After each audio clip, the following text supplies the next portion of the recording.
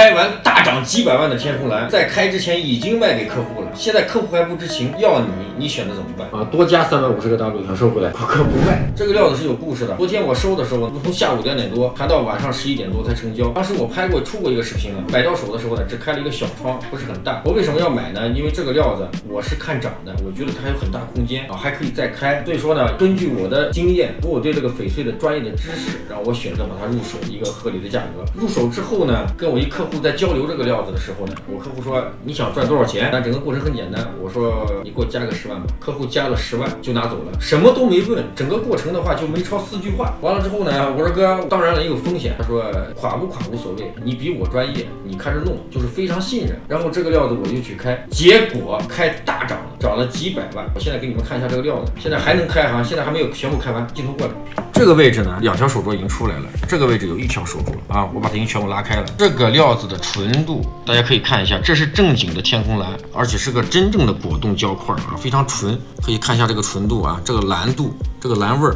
昨天这个位置呢，只是有一条线的小窗，我把它开始扩了，可以看到没有？这个地方不但没有变种，而且种更好了，纯度更高了。可以看一下这个地方的这个荧光和杠位，种更好了。客户，我实实在在讲啊啊，这是一个十公斤的料子，客户花的钱只够买这个盖子就够了，涨多少你们自个算。现在呢，这个料子还没有开完，它还有大涨的空间。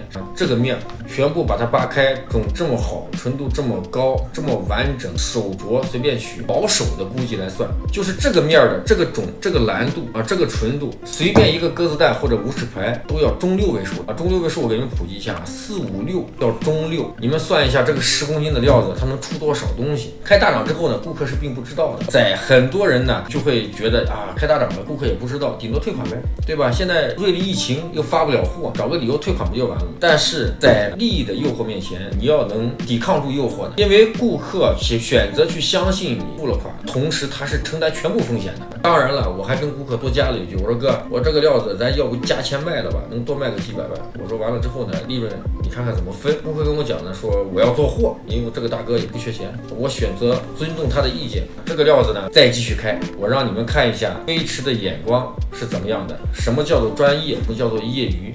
专业和业余之间就是差这么多。再者哈，可能很多人觉得我是在讲故事，我不管你们怎么想，我心里是非常明白的。刚才呢，大黄开这个料子，开着开着都跟我说说哥，开着不想开了，说卖的太便宜了。我跟他就原话哈。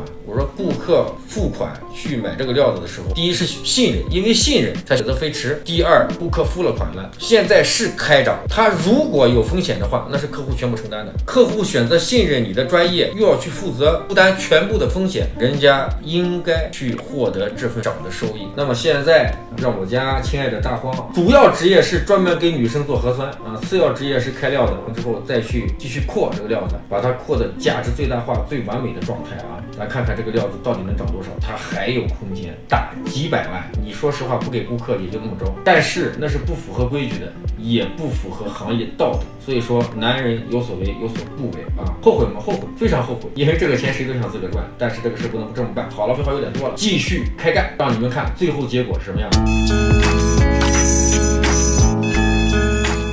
现在开大窗算是告一段落了，还要开，但是开这种料子，因为皮壳太老。种太老，皮壳太厚，完了之后太麻烦。打完皮之后再打入层，镜头过来看一下。都知道啊，开之前只有两个小小的窗，现在整个扩大，把手镯扒出来之后，这边就全部扒成这个样，扒了一半，还可以再扒的啊。而且扒到这一边的话，可以看这个位置，已经到了界面级别了啊啊，这个位置是界面级别的，纯度、蓝度是没有变的，没有变种，反而这个地方种更好了啊，来非常的均匀。现在。